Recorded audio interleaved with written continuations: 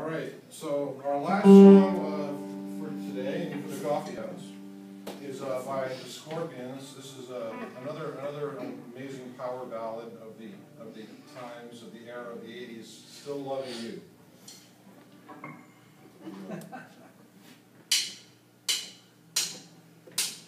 Time